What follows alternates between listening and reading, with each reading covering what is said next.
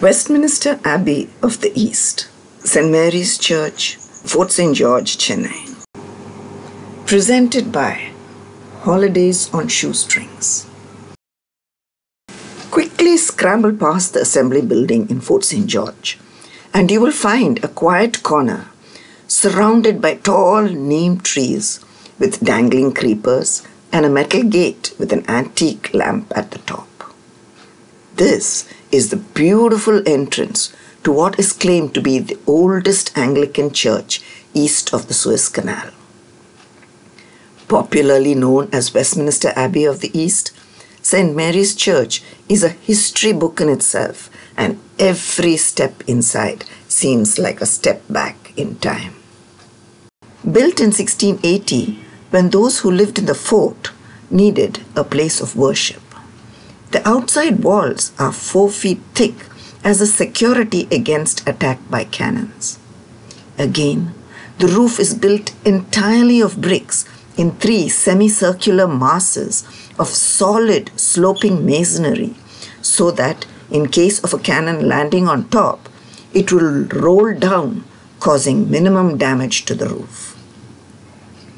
No wood was used in the building except for doors and windows to avoid the place being gutted in case of a fire. So, we can in fact say it doubled knowingly or unknowingly as a bomb shelter. The British Army also stocked its artillery here. The other side of the church is a yard which has some beautiful gardens. Surrounding the church are 104 gravestones with an interesting history. The original graveyard was situated where the High Court is now, but was shifted later because when the French besieged Madras and took over the building, they used the slabs for mounting cannons. So, for security reasons, most of the slabs were brought and laid around the fort. But, ironically, in 1782, when Hyder Ali invaded Madras, the slabs were again used by him to mount the guns around the fort. They were moved yet again, and this time brought to St. Mary's Church. Many were broken, and the remaining 104 tombstones used to lay a pavement around the church. Some of them even dating back to the late 16th century. The elegant staircase that lies between the church and the steeple actually leads directly to the gallery where the governor used to sit. So he did not have to mix with the hoi poi when entering the church.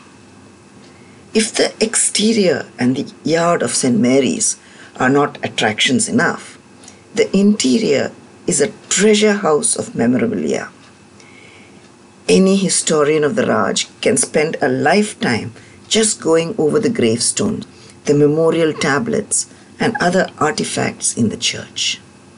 It is also fascinating for the lay visitor, for setting foot inside is to be transported to another era. Time appears to have remained unchanged inside St. Mary's. Above lies the governor's gallery, the intricately carved teak balustrade in front of the gallery dates back to the time when the church was built.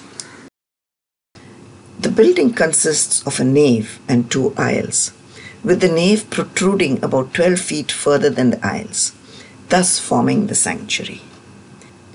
Behind the altar is a painting of the Last Supper.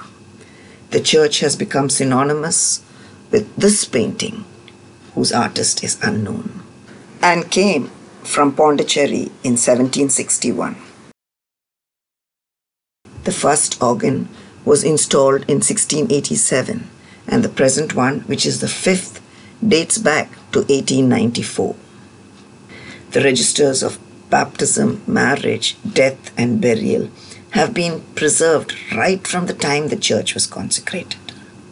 While the oldest are preserved in Fort Museum, the rest lies in the church.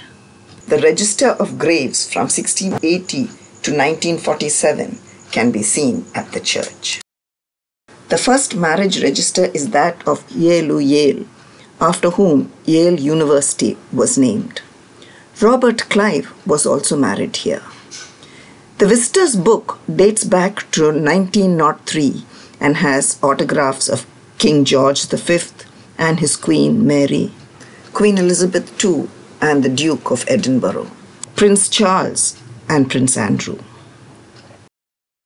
Some plates and chalices that were presented by Elihu Yale when he was governor of Madras, a large silver basin, silver flagon, and communion cup are on display at the museum.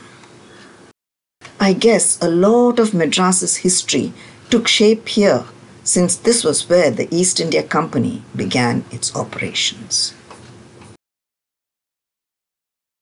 Thank you for watching. If you like this video, give it a thumbs up, subscribe and tell your friends about it.